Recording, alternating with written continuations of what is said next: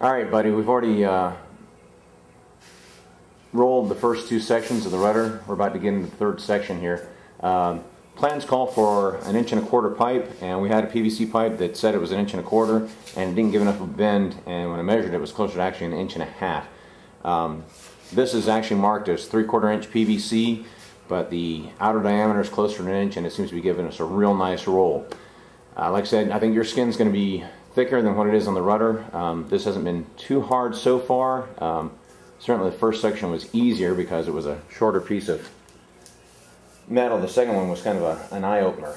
Um, make sure you run your crease for the outer skin um, before you start to roll because I forgot to and we had to kind of unroll and get the crease in there because um, the way the tool set up I really couldn't do it from the other side. Right, here you go.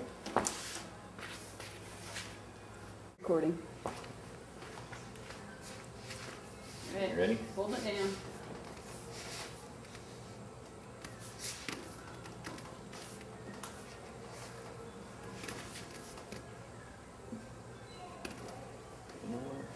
Do it. It's, it's not there.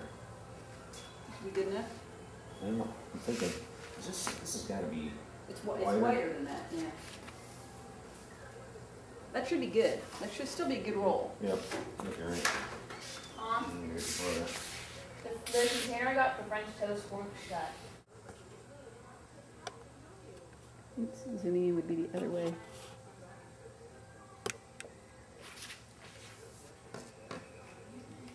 You're gonna put some titles in this and uh, some music. and- All right, buddy.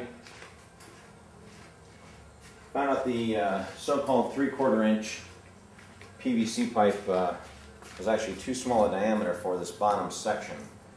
So we um, used that inch and a quarter, which is more like an inch and a half, kind of unrolled and re-rolled. And now it looks like we're gonna be able to get everything completely together. With the correct bend.